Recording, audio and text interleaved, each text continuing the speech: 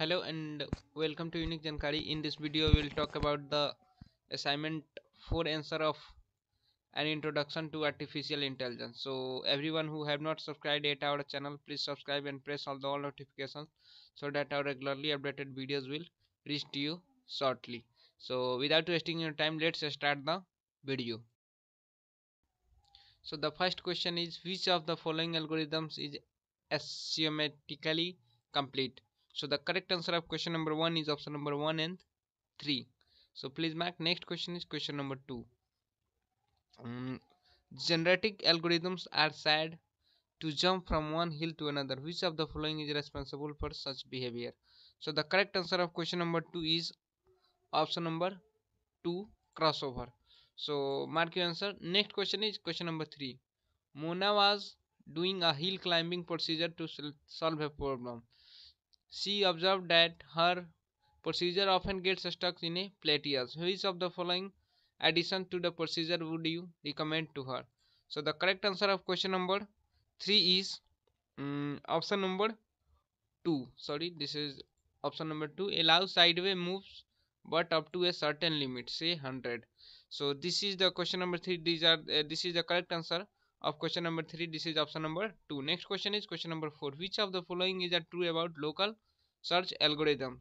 So the correct answer of question number 4 is option number 2 and 4 this is the option number 2 please mark and option number 4 this is the correct answer. Next question is question number 5 so the correct answer of question number 5 is type here 7 this is the correct answer of question number 5 Next question is question number 6. The famous FF planner user uses which of the following algorithm? So the correct answer of question number 6 is option number 2 enforced hill climbing. So you can see it. This is the correct answer of question number 6. Next question is question number 7. So the correct answer of question number 7 is option number 1 and 2. So please mark it. This is the correct answer of question number 7. So the next question is question number 8. After the first iteration of simulated annealing, what is the probability that the current state would be S2? Round the answer to 3 digits after the decimal point. So the correct answer of question number 8 is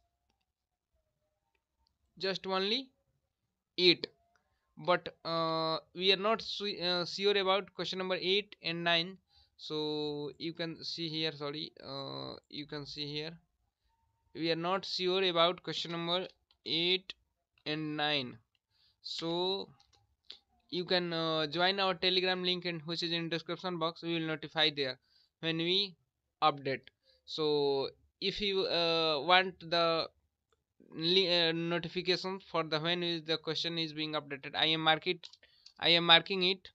Question number 8 our answer is just like 8 but uh, we are not sure about the question number 8 so if you want the correct answer of question, uh, question number 8 and 9 so must join our channel uh, which is in uh, the link which is in description box. We are not about uh, sure about question number 8 and 9 so join our telegram link which is in description box. We will notify there.